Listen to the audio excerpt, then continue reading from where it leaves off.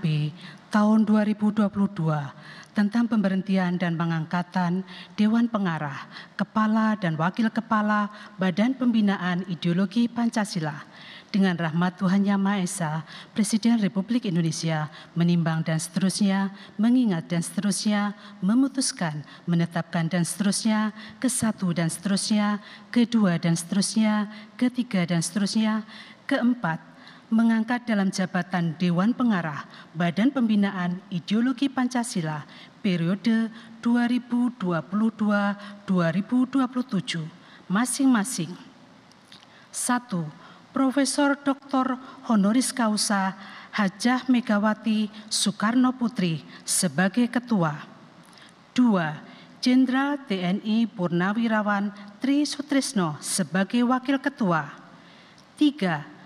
Mayor Jenderal TNI Purnawirawan Wisnu Bawatenaya sebagai Sekretaris.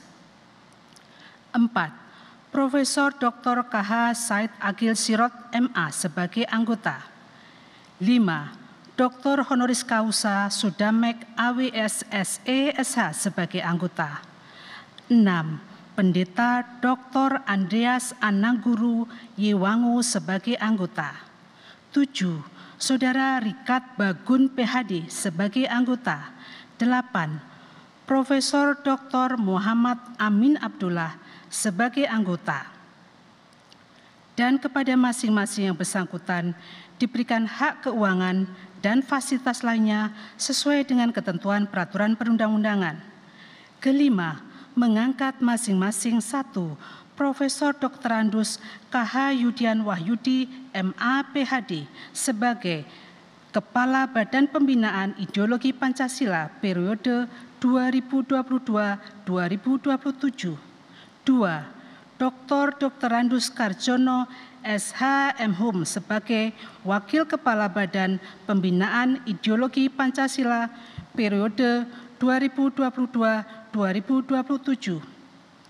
Keenam dan seterusnya ditetapkan di Jakarta pada tanggal 6 Juni tahun 2022 Presiden Republik Indonesia Joko Widodo. Rohaniwan dimohon menuju tempat yang telah ditentukan.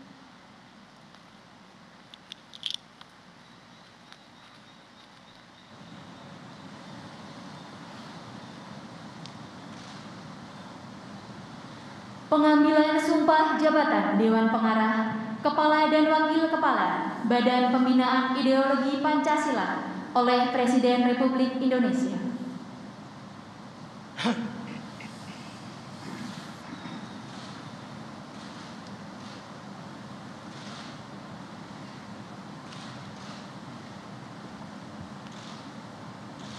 Sebelum saya mengambil sumpah janji berkenaan dengan pengangkatan saudara-saudara sebagai Dewan Pengarah, Kepala dan Wakil Kepala Badan Pembinaan Ideologi Pancasila.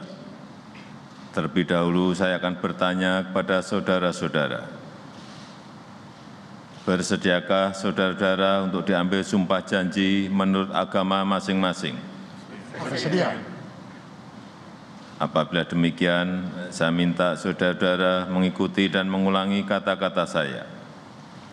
Bagi saudara-saudara yang beragama Islam, demi Allah saya bersumpah.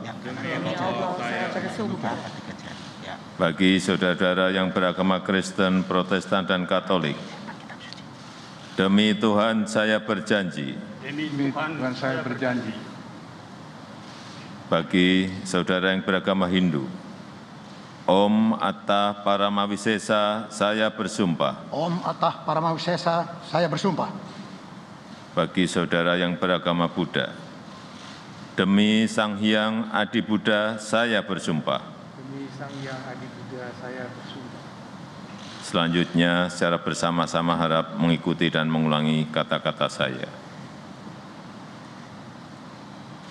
Bahwa saya bahwa saya akan setia menghayati dan mengamalkan Pancasila. Akan setia menghayati dan mengamalkan Pancasila.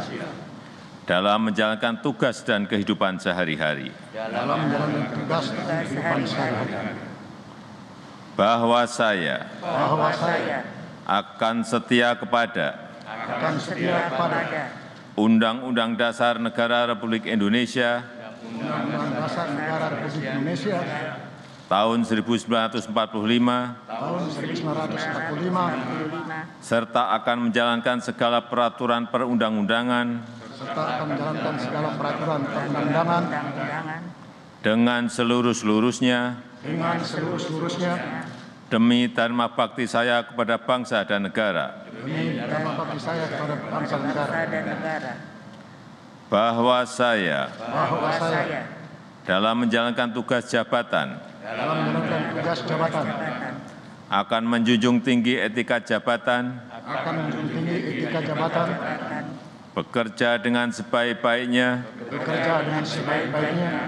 Dengan penuh rasa tanggung jawab, dengan penuh rasa tanggung jawab.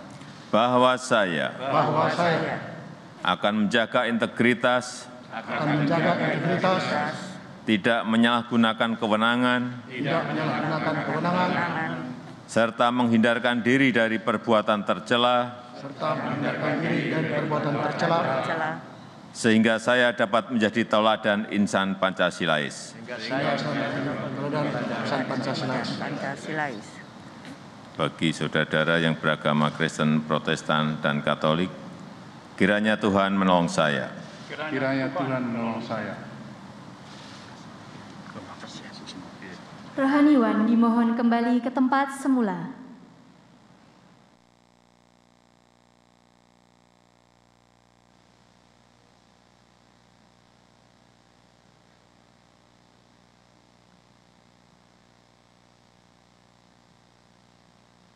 Lagu Kebangsaan Indonesia Raya.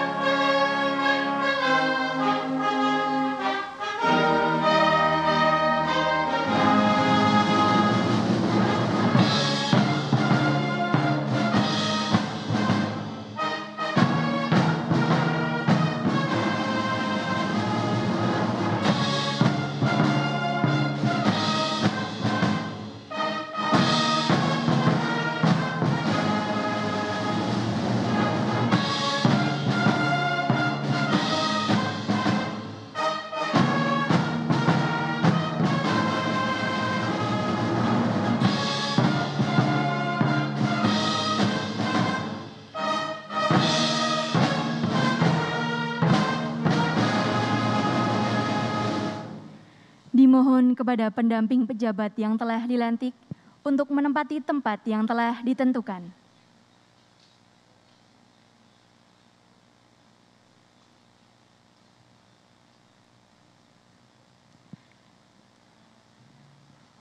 Pemberian ucapan selamat didahului oleh Presiden Republik Indonesia dan Wakil Presiden Republik Indonesia.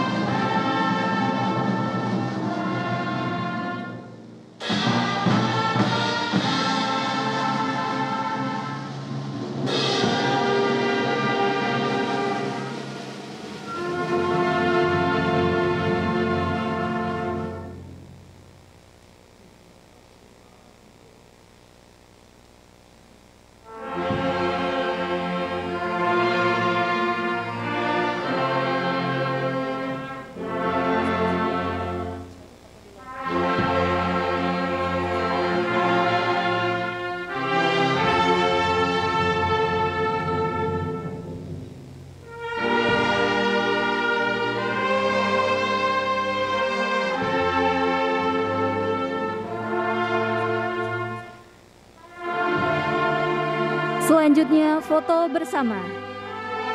Dimohon kepada pejabat yang telah dilantik untuk